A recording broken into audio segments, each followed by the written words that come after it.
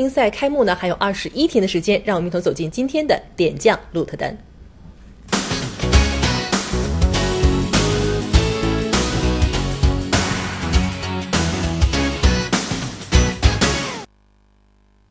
中国乒乓球男队呢，昨天公布了出征鹿特丹世乒赛的队员名单。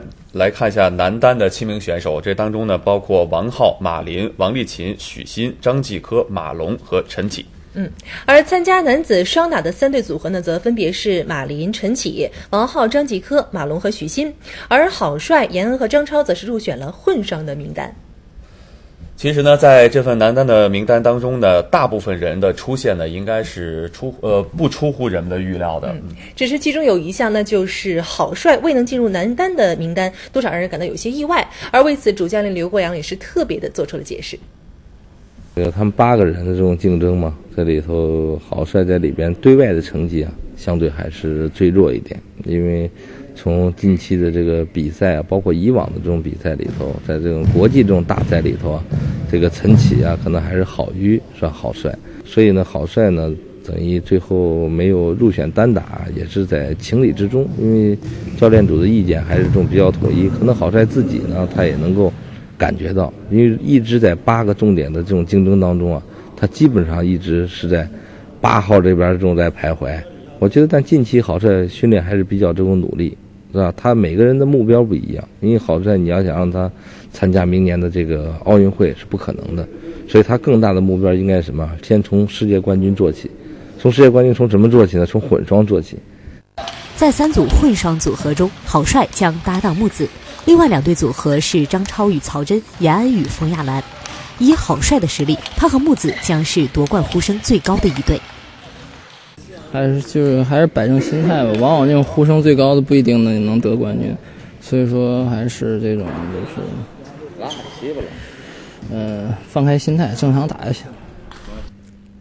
最后呢，刘国梁也强调了，参加混双的三名队员一定要在接下来的时间里面密切的关注球拍检测的问题，因为毕竟他们也是代表中国队出去比赛，绝对不能因为球拍而影响了比赛。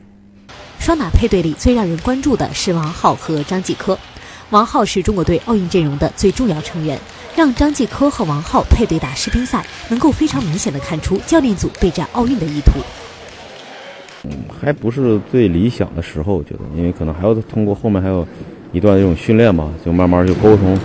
因为毕竟虽然说我们两个人拿了这个亚运会冠军，但是呃，从对手上来讲都不是特别强，所以要这种通过世锦赛啊，这种跟队里的这种运对手去。去竞争，再一个还要跟国外的一些欧洲的一些运动员再去打，这样的话才能把一些暴露出一些问题啊，包括嗯好的不好的一些方面能够体现出来吧。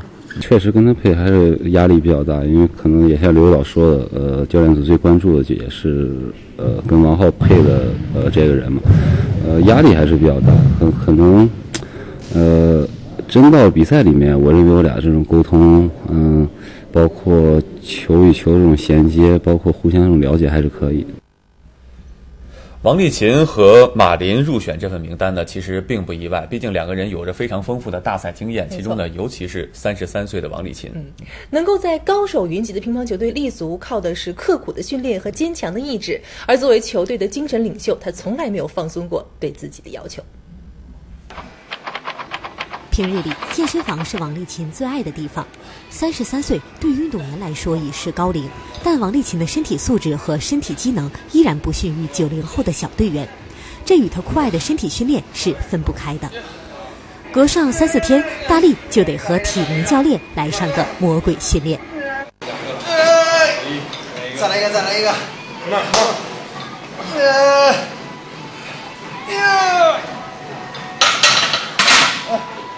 这个水要泼一点在脸上啊！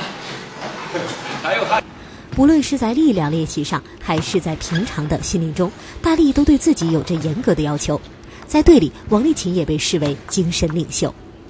王立勤一直是队伍的是吧？这个精神领袖是吧？这个这个上进的这种精神啊，向上这种精神啊，永远不放弃这种精神啊，是吧？他到目前为止，王立勤还是做的最好的。老运动员和其他年轻运动员的区别，就是他要面对更多的社会活动和自己的感情生活。最近，王励勤的感情生活被炒得沸沸扬扬，但是他自己却处理得清清楚楚。呃，离比赛越来越近，自己的身心可能基本上想的想的全是自己的比赛，包括怎么样能够把自己的状态能够调整好。这也需要呃对方的一些理解和支持。嗯，对，我想相互之间可能都需要理解跟支持吧。嗯，可能因为作为运动员来说，可能相互之间。呃，彼此在一起的时间比较短，可能平时沟通时间也比较少，可能更多的需要的这种，呃，对对方的这种支持跟鼓励。在训练基地的墙上，清清楚楚的写着：王励勤是三届世锦赛冠军，拥有十四个世界冠军头衔。过去的二零一零年，王励勤落选莫斯科世乒赛，也没有参加广州亚运会，但他仍然默默的坚持着。刘国梁曾说过：“中国队这些优秀运动员就应该享受乒乓球，享受比赛。”但这恰恰也是王励勤没有达到的状态。